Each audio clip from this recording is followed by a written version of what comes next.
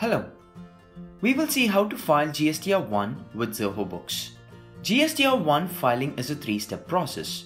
You will have to first upload the transactions into the GST network, then you have to verify and submit the transactions. Finally, you will have to file the return.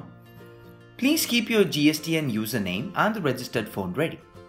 In order to file GST returns directly from Zoho Books, you will have to enable API access from your GST portal. Let's see how to do that. First, log into your GST portal and head to Dashboard section. Click on My Profile and click on Manage API Access. Select Yes here and set the duration to 30 days and click Confirm. Now let's head back to Zoho Books. These are the invoices I've created so far. Let's head to GST filing section under the Accountant tab. Choose the month for which you're filing here. GSTR1 report consists of all the invoices, credit notes, advance payments, refund vouchers, and debit notes created for that particular month. Under the Overview tab, you will find the summary categorized and ordered based on the tables in GSTR1 specified by GSTN. Here you can drill down to see the transactions which contributes the value. You will find all the transactions for the selected month under this View Transaction tab. This includes both transactions which are uploaded into the GSTN and those which are yet to be uploaded. You can use this transaction type filter to view the particular type. You can filter a particular transaction type according to the GSTR1 tables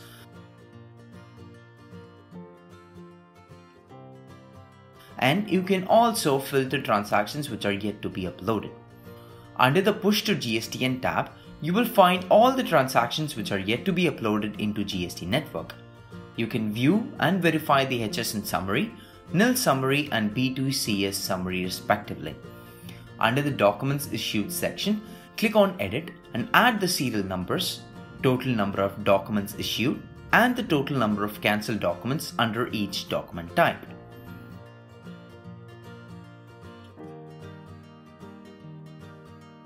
Under the Exceptions tab, you will find the list of transactions which will not be uploaded into GSTN.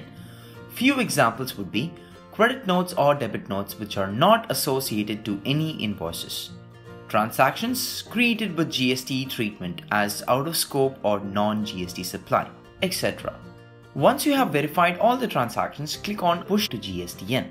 In this pop-up, you will have to enter the aggregate turnover in the preceding financial year and the turnover for April to June 2017. Now, click on Push to GSTN and click on this Generate OTP button.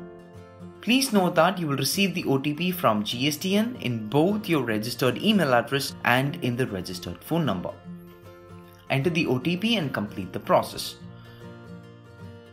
When your GSTR1 transactions have uploaded successfully, Zoho Books will notify you via an email and it will also be updated in this notification section. Now you have successfully uploaded all the transactions to GSTN. Under the File Your Return section, you can view the GSTR1 report preview and if GSTN has reverted back with any errors, you will find them here. You can rectify them and re-upload the transactions. Now let's head to GSTN, go to Dashboard and click on Returns Dashboard choose the return filing period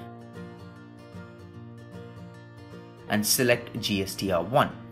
Since we have pushed all the transactions from Zoho Books, all the fields and boxes will be filled in. Scroll down and click on Preview. A PDF will be downloaded. Cross-check the data and once you have verified the uploaded data, check this box and submit the report. This is a very important step as you will not be allowed to change any data after this submit process. So please take your time and verify the uploaded data. Once done, click submit. Finally, check this box and file GSTR1 with DSC or with EVC. This is the third and final step. With this, you would have filed your GSTR1 successfully. Now go back to Zoho Books and into the file return section. Here, click on more and mark this as filed. This completes the entire GSTR1 filing process. Hope this helps. Let us know if you need any assistance in filing GSTR1. Send your emails to gstindia at zohofinance.com or call our GST helpline. Thank you.